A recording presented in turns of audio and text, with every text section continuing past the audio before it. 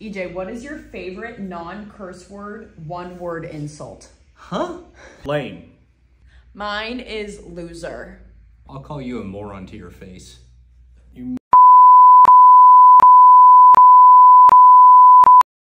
What is one of your nicknames? EJ. Big B. My most popular nickname is Sid the Kid. I get called Pretty Boy Floyd. I don't know why. If you could afford any car and buy any car, what would you buy? Only one? Probably a Bugatti. I would buy a Range Rover. I think I'd buy a minivan.